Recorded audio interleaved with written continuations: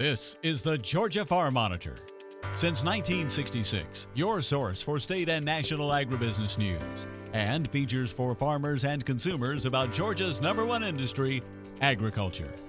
The Georgia Farm Monitor is produced by the state's largest general farm organization, the Georgia Farm Bureau.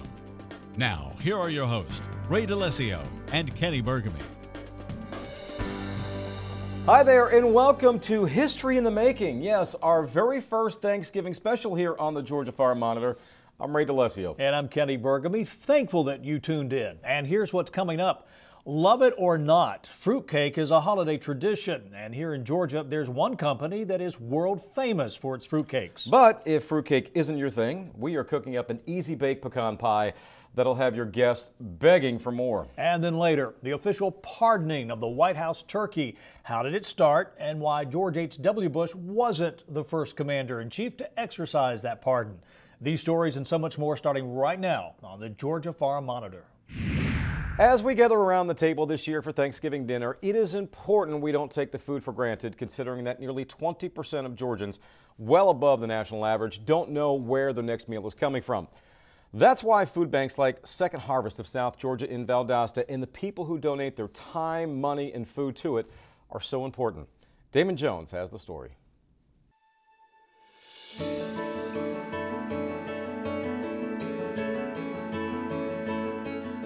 The season for giving, and that's exactly what a number of farming operations are doing, including Corbett Farms in Lake Park as they partner with the Georgia Food Bank Association and the Second Harvest of South Georgia program to help combat a major issue that is affecting the state. People think of hunger as a third world issue or even an urban issue. One in three children in South Georgia live in a food insecure home. And so people are really, I'm startled. I think Georgians should be startled at the rates of this that are plaguing our communities. Our organization does have a lot of programs. We run our Kids Cafe after school feeding program. We run our Teachers Harvest program, which is a free school supply store for teachers. We do provide disaster relief, working with FEMA and with GEMA, as well as the food bank and with our Farm to Family program, which is our effort to rescue produce that's being unused and get it to Georgia families. Here the last couple years has really kind of started giving back to communities instead of just everything being about business. Um, you know, for us with the food bank, we have plenty of produce that we either throw down on the ground or won't meet uh, market specifications, you know, for retail or food service, stuff like that. And it's something that someone can eat it. It's not a, there's no, nothing wrong with it. It's not like it's bad or um, harmful in any way. So our biggest goal is why throw it down when we can give it to the food bank? I, if I remember correctly, like 235,000 meals was the estimated amount uh, that we gave to the Georgia Food Bank Association last year. This year, I'd say we're on track to probably do about the same, uh, if not maybe a little more donors, whether it's a manufacturer or a retailer or a farmer, will get in touch with us and we have a fleet of vehicles and drivers that go out. They will get these donations. We bring them back here, check things for food safety, and then work with our 425 partner agencies to distribute that to families in need. Well, you know, there, there's nothing better than, than giving back to people. You know, it, it's not a, we don't look at it as a charity. It's, it's we're doing something good for people that need something. You know, um, food, everyone needs food. And you know, we feel like we're producing an item that typically most people eat. So there's nothing wrong with it. Why not give it to someone who needs it? There are lots of different ways to donate to the food bank. You can donate your time by coming and volunteering. You can donate funds by visiting our website, feedingsga.org. All that information is there. You can also give by raising your voice and helping us to advocate for issues that are important to rural Georgia. I would say every, every producer has something that they're either throwing away or simply can't market. If that's the case, you need to be talking to your Georgia Food Bank Association or your local food bank, period, if you're somewhere else outside the state of Georgia. Uh, there, there's a lot of pride in knowing that you're giving something to someone and not ex expecting something back in return. Reporting from Valdosta, I'm Damon Jones for the Georgia Farm Monitor. During the holiday season, a lot of families across the country and around the world have made fruitcakes a part of their tradition. Safe to say, most of those delicious cakes originate here in Georgia. If you've ever tasted a world famous Claxton fruitcake, this is where it was made in Evans County, Georgia. The bakery actually began operations in 1910. It was founded by an Italian immigrant by the name of Mr. Savino Tos who came to the United States in 1908. Uh, Mr. Toast was a pastry maker by trade, and he settled in New York City, uh, worked in a hotel, uh, but he grew tired of the city life and he had heard a, a great deal about the South. And uh, so he heard of an opportunity to move to Macon, Georgia, work in an ice cream plant. So he, he moved to Macon, uh, but unfortunately, that business melted on him after he had been there for about six months. He had met a girl, a young girl from Savannah, and was going down to see her. Uh, he came through the small town of Claxton, which at the time was a, a small agricultural community uh, in 1910, and he uh, liked the townspeople. Uh, they were very friendly, and he also liked the fact that the town had no bakery. So he settled down and opened the Claxton Bakery here in 1910. Parker's father started working at the Claxton Bakery as a young boy. My dad decided to specialize. Uh, he didn't want to be just a small town bake shop.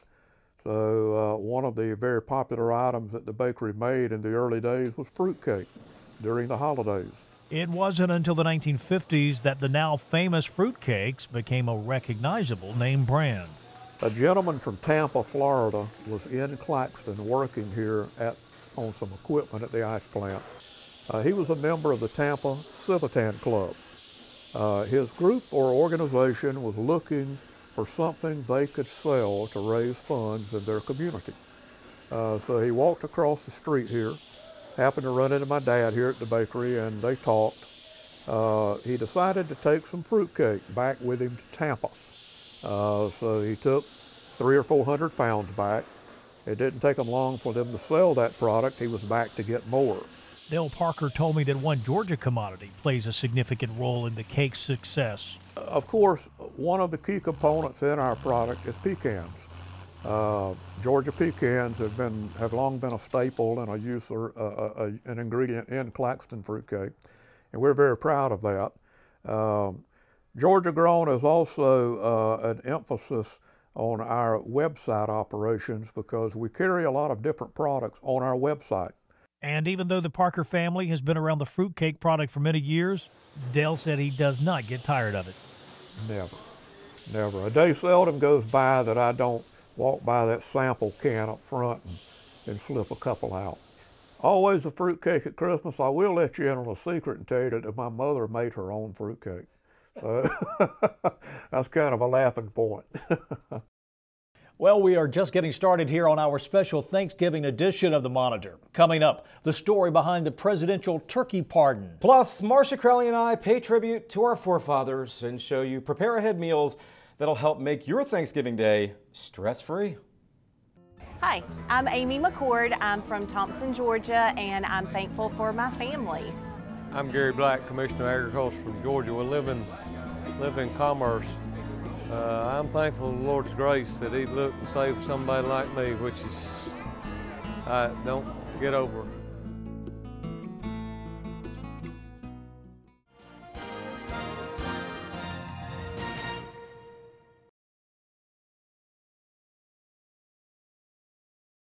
In 1989, George H.W. Bush became the first president to officially pardon a turkey at Thanksgiving. But the roots of this ceremony go much further back in our history. In 1864, President Abraham Lincoln declared the first National Day of Thanksgiving. Now, earlier in the year, he had been presented with a bird which he gave to his young son Tad to raise for the Lincoln Christmas dinner. Tad was about eight years old. He nicknamed the bird Jack and grew very attached to it. And so as Christmas time approached, he asked the president to spare the turkey. And this may be the first unofficial presidential turkey pardon. In 1947, President Harry S. Truman welcomed the National Turkey Federation and the Poultry and Egg Board to the White House and accepted several turkeys. Now, many people believe that Truman was the first president to pardon a turkey, but in fact, President Truman was more of a greet and eat type of president, and in 1948 remarked to reporters that the birds would come in real handy for a Christmas dinner that he was planning for 25 guests at his home in Independence, Missouri. There are two other unofficial presidential turkey pardons. President Kennedy didn't have a lot of use for White House ceremonies unless they involved astronauts. But on November 18th, he stepped into the Rose Garden and accepted a 55-pound bird that had a sign on it which said, good eating, Mr. President. Kennedy looked at the bird and said, well, maybe we should let this one grow a bit more. And tragically, four days later, he was assassinated in Dallas. In 1987, President Reagan was the first president to actually use the word pardon. He had been asked a question about Iran-Contra and pardons associated with that event, and instead suggested that perhaps Charlie, the bird that he had been presented with, deserved the pardon. And so history records that George H.W. Bush was the first president to officially pardon a turkey. Each of the presidents that followed him, President Clinton, President George W. Bush, and President Obama, have graciously taken time from their busy schedules running the business of the nation to participate in this American tradition. Happy Thanksgiving, Mr. President.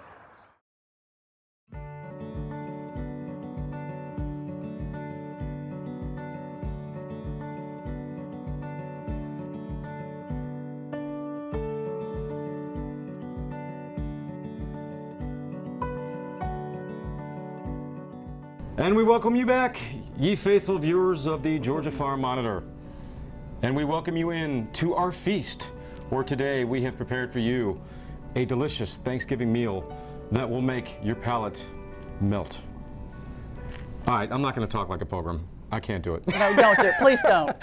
Everybody, welcome back to the Georgia Farm Monitor, and yes, to our special Thanksgiving edition of Meals from the Field. As you see, Marcia and I dressed up for the occasion, feeling very festive, feeling like pilgrims today. So good to see you again. You good? I dress like this every Thanksgiving. What are you talking about? Thank you for playing along. But uh, again, Thanksgiving, I know you were kind of reluctant to do this because people kind of have their own they thing. They have their own traditions, and but. Um, but you're going to give them some ideas today. We're what do we give got? Some ideas. All right, everything we're doing today, you can make ahead, which is good. That's okay. me. All right, the first thing is a twice baked potato casserole. You bake about three to four pounds of potatoes, mm -hmm. obviously, twice baked potatoes. All right, you're going to add, this is a cup of milk, a cup of sour cream, and I will just tell you right up front, none of this is low calorie. So if As you it don't shouldn't like be that, on Thanksgiving then, no, Day. you shouldn't. Mix that up. And you let obviously let the potatoes cool enough so that you can cut them in bite-sized pieces. We're going to add to that some salt and pepper. And I love uh, stuff that you can make ahead. It kind Okay. of frees the day up. And just to let you know, we need to hurry this up because I've got the Mayflower running Oh, outside. Oh, oh, goodness. So okay. yes, Mayflower we- cap. Okay, yes. you pour that over the potatoes. That was a cup of sour cream and a cup of milk. Mhm. You could use low-fat milk and low-fat sour cream if you wanted to cut the calories just a little bit. Um, I'm going to put in a cup of cheese, shredded sharp cheddar cheese, and you could use low fat, although I think the texture with low fat cheese is a little bit funky, but Like I said, splurge a little a bit little on bit. You don't have to eat the whole No. thing. All right, who doesn't like four slices Bacon. of bacon? You think they had bacon at the very first Thanksgiving meal? I, they might have. You never know. Bacon goes with everything, so they should have had it. And then four green onions chopped. Put that on top. And at this point, you could freeze it, put it in the fridge till Thanksgiving Day. Okay. Then you're going to bake it 350 until it's bubbly, and that's about 30, 45 minutes, depending on how cold it is. And so that might still be hot, We have right? the finished product, which is a little bit hot. It's so a little hot. I'm just going to hold it there and take a look at that. And I tried this, honestly, myself this weekend. It was delicious. oh, it's yee. delicious. Looks delicious, and I'm spilling it everywhere, That's so I'm going right. to put it back over here. Less for us to eat. Okay. Who doesn't like pecan pie? Pecan pie definitely says Thanksgiving. So, but this one, I'll tell you, if you get a sugar buzz, if you want one, this is your dish. All right, you got a cup of sugar, a cup of corn syrup, mm -hmm. light or dark. I just like the light because I think pecans make it dark enough. Okay. Three I think I'm eggs. getting a sugar contact buzz right now. Smell it. Three eggs beaten. And I made this for a, when my son was in high school, a charity Mhm. bake sale. I made four of them. They were the first things gone. All right, two tablespoons of butter, melted or softened. Like I said, this is just a classic pecan pie. You could add chocolate chips if you wanted, but why mess with perfection? Exactly. Okay, and then a cup and a half of pecans. And I Georgia like pecans. To, Georgia pecans, and that makes a big difference. Um, and I like to use a cup of chopped and a half a cup of whole. Okay. Okay, Any particular reason? just looks better. Okay. See how easy that is? Just stir that up. You're going to pour, pour it in a prepared pie shell. And you know I didn't make the pie shell. I don't do that. And this you can definitely make a couple of days ahead of time. You bake this at 350 for about 45 minutes until a toothpick comes out clean in the center.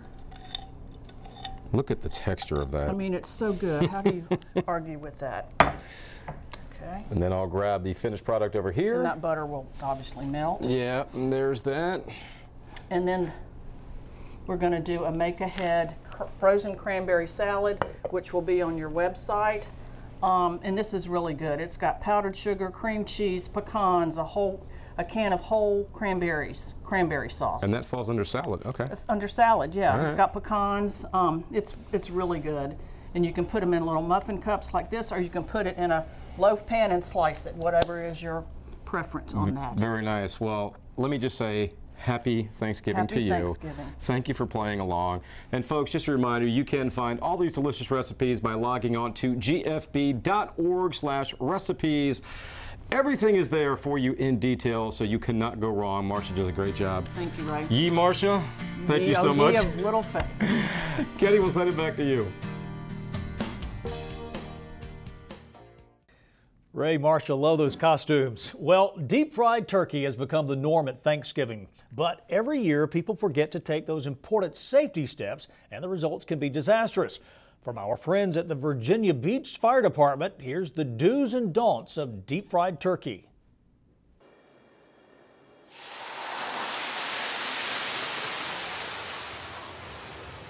U.S. fire departments respond to a thousand fires a year involving deep fryers. In fact, the U.S. Fire Protection Association wants you to know that deep fryers are responsible for five deaths, 60 injuries, and $15 million in property damage every year. That's why the Virginia Beach Fire Department is holding this demonstration to show you just how quickly a fire can erupt from a turkey fryer. The Virginia Beach Fire Department would like to remind you that these fryer fires are preventable and offer some safety tips for cooking your holiday feast with a deep fryer. First, thaw that turkey. A partially frozen turkey can create a fire or an explosion, as it did in this case.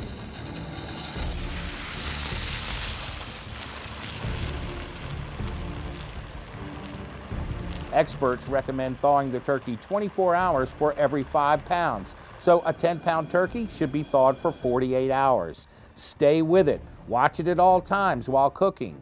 Be safe. Use thick pot holders or oven mitts when touching the handles or lid of the fryer. It's also a good idea to wear eye protection and long sleeves to protect against splattering oil. Don't overfill the pot. Oil can spill into the burner. Slowly lower the turkey into the pot to prevent oil from splashing. Always use a thermometer to monitor the temperature of the oil. Over 350 degrees, that oil can become very combustible. Never fry a turkey indoors. Make sure the fryer is positioned at least 10 feet from the nearest structure. If there is a fire, don't spray water on the pot or try to cool the oil down with ice.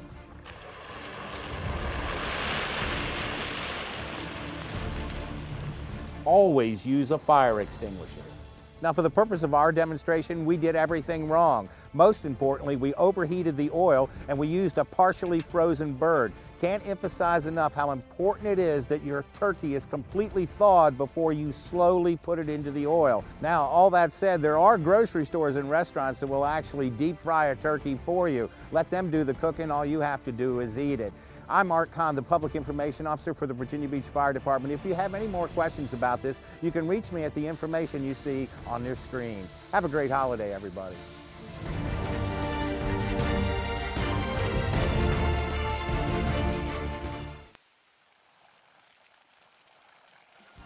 Some great information there. Well, the calendar may say Thanksgiving, but it's also time to start thinking about that Christmas tree.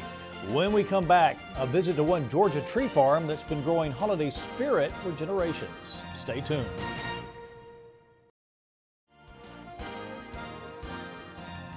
I'm Laura Perry Johnson. I'm from Moultrie, Georgia, and I am thankful for my family, but also that I live in the state of Georgia, which is the perfect place for agriculture. I'm Tina Rozier. I'm from Blackshear, Georgia. I'm thankful for my family and friends and thankful for the Lord Jesus Christ. Well, finally today, around our house, Thanksgiving, among many things, also means it's time to put up that Christmas tree. The Monitor's Mark Wildman visited one farm that has spent many decades growing trees to brighten homes for the holidays. All year long, Chuck Berry works this tree farm in Covington, Georgia, so families can enjoy the look and the fragrance of a fresh cut Georgia Christmas tree. Throughout the farm, trees of all sizes can be found, and families can take their pick. The Berry family goes way back in Covington, and even though the population has grown, they have been able to adapt and make a living on the farm. We've been here farming Christmas trees for almost 40 years. The family's been on the farm since 1894, so we've um, been here in the community for a long time and fortunately been able to farm the property for, for uh, you know, a long period of time and keep it in the family. Of course, when you are a Christmas tree farmer, you spend a lot of time working for just a few short weeks when consumers show up, not only to look for a tree, but to make Christmas time memories as well. You get to see the families come out with their children and experience the farm, go out and pick their own tree, um, train rides, concession stands, just something that's a little bit different from picking up a tree off of a sidewalk or a big box retailer. All the trees here are not the same, and the farm specializes in growing many different varieties. So we have the Leyland cypress, the Virginia pine, we have cedar, have a new tree that's been on the market for the last few years, the Murray cypress, Carolina sapphire. Again, there's a lot of different varieties, a lot of different styles, different colors. This is a Naylor's Blue. Um, it's a variety of the cypress. Um, it's a little more feathery type limb, but it makes a very pretty tree very hardy tree. It's just got a little lighter green color than some of them, but um, you know, it's all about what the people prefer. And we like to offer, you know, several varieties so that they have a choice when they come to pick out their tree. Everything is all ready for the customers to arrive now, but it takes a lot of work to keep the farm looking this good. The farm has to trim the trees twice a year, and a lot of time and effort is spent keeping the weeds away. Not only does this farm sell trees to the public, but they support a program to help military families have a Merry Christmas. Trees for Troops gives the opportunity to military families to have a, a real Christmas tree at Christmas time. Uh, Berry's Tree Farm this year is a drop-off point, meaning that FedEx will actually bring a trailer here. Um, the farm has committed at least 75 trees from surrounding farms. Those trees will be picked up and taken to Fort Rucker in Alabama for the military families to have that special Christmas tree, that real live Christmas tree at Christmas time, just gives them something that they may not otherwise be able to get or to have at Christmas time if it wasn't part of the Trees for Troops program. So if you are looking for a good tree and a lot of fun, take a trip to Covington or to another one of Georgia's many Christmas tree farms. In Newton County, I'm Mark Wildman for the Georgia Farm Monitor. All right, Mark, great job, sir. Unfortunately, that does it for our very first Thanksgiving special. For all the latest ag info, be sure to check out our Twitter, Facebook, and Pinterest pages. You'll stay informed and see what's up in the world of farming and here on the Farm Monitor Show. Happy Thanksgiving, everybody. Have a great week.